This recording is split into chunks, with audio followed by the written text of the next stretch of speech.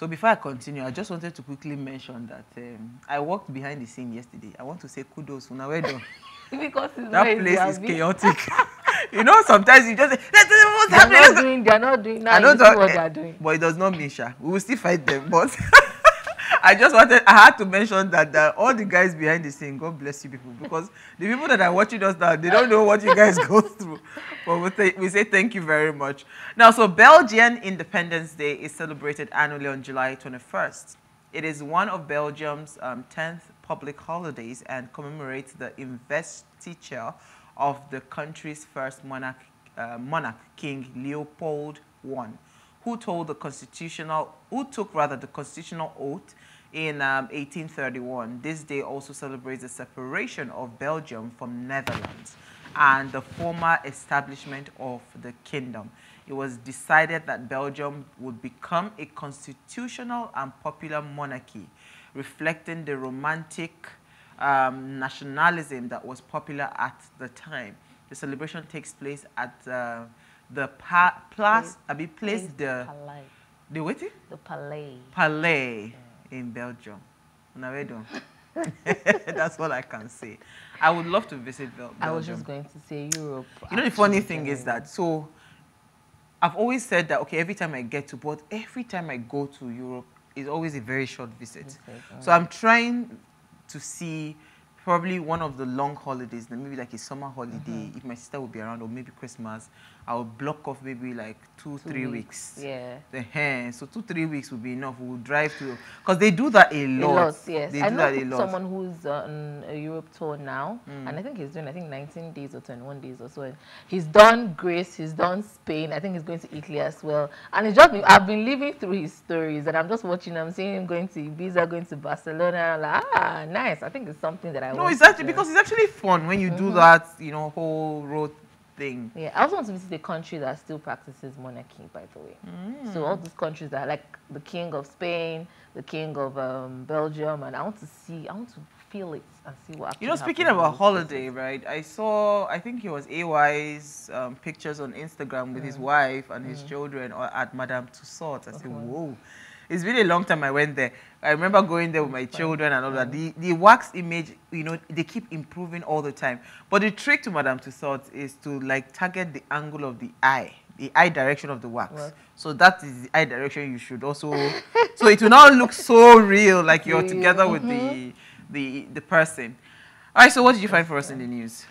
Okay, on today's episode of Prices of Things Hiking Ah, Up, hmm, Unilag hikes tuition from 19,000 naira to over 140,000 naira.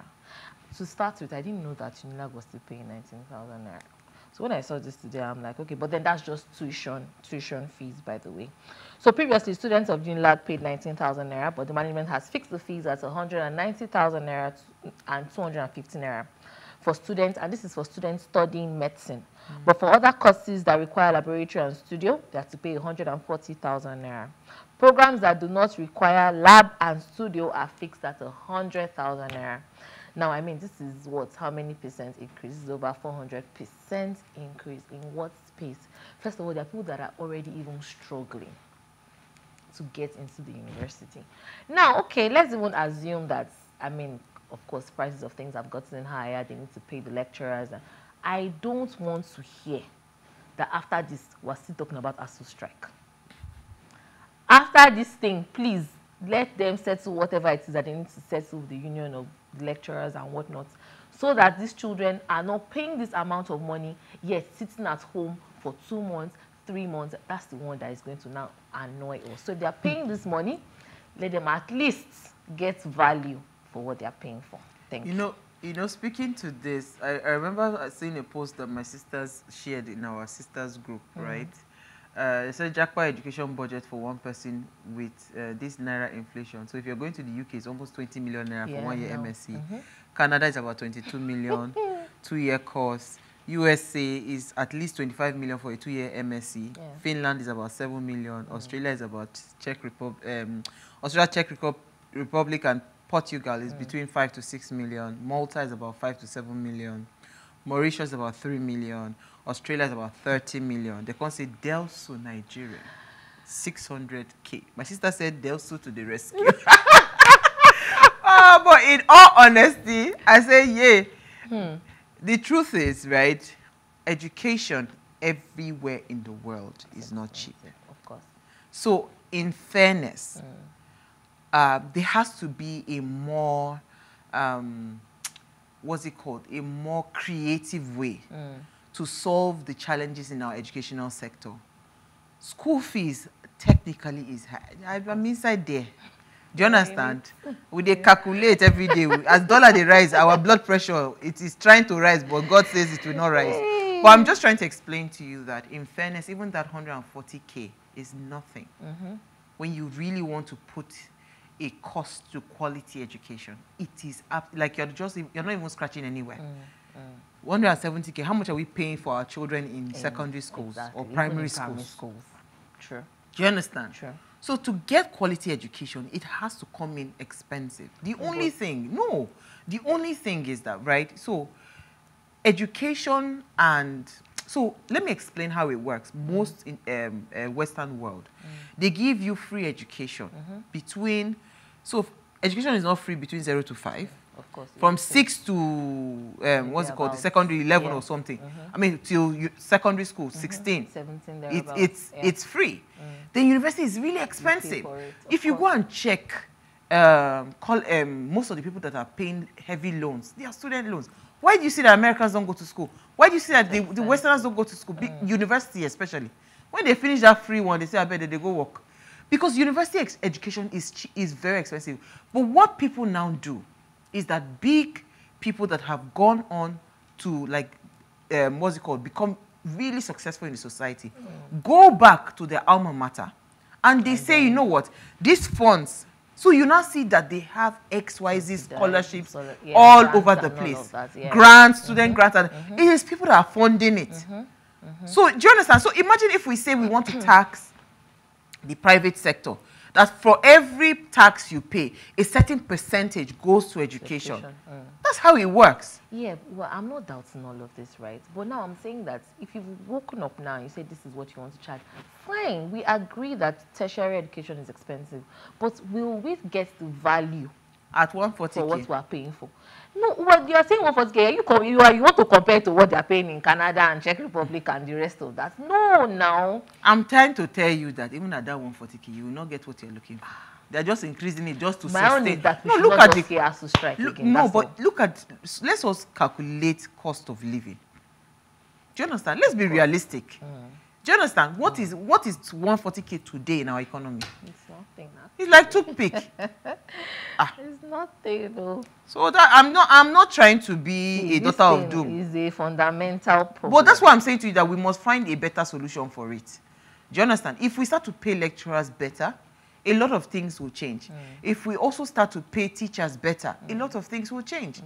So that's why I'm saying that the way we can fund the educational space, we have to really find a way to bring in the private sector, bring in people that are, you know, so that we start to find, um, what's it called, appropriate funds that would, you know, make the schools, carry- yes, yeah, carry the, yeah. the and match the quality that that. we are looking for. True. I Ah. feel it. You know, man, I know verse you. So my story, I will just mention it. Everybody, I want to go and do bombo. Even me, I want to go and do bombo. you know this thing we hear it all the time and we are wondering what's going on you know but i've said this thing several times and every time i see this story i'm always led to talk about it again um, so this young girl according to the report she went to do a surgery a butt um, enlargement surgery and she died in the process she's just 22 years old What? yes butt enlargement surgery and now this person is looking like a man that turned to a woman i don't know sha What's the, But, um, on her face? Micah- 22, why are you trying? Why are you looking like this? Micah, Sha- that's why I'm saying that it looks so. It looks like there's a lot of work that has gone on on, on her, you know, or I don't know. Micah um, Shabasova, I think that's the name. She died after she under, she had undergone a buttocks enlargement surgery by an unqualified beautician in Russia. So this is even in Russia.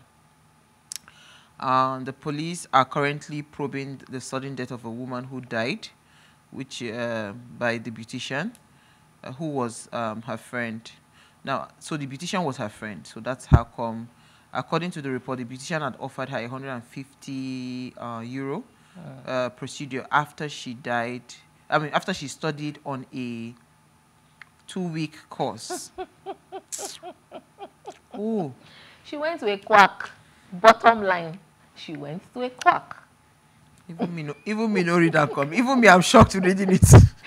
Apparently, the lady. so the lady just come out from school. It's just like the, the lady, you know, there was one we had in Nigeria too now that had come out. Okay. The, the what was her, name Dr. again? Dr. Anu. She just came out from school and now used you to practice. oh my God. It's sad. Uh, We're not supposed to be so laughing. The thing is, don't not don't, so now it's not even a case of don't even do whatever beauty enhancement it is that you want to do. Just make sure that you are using the right.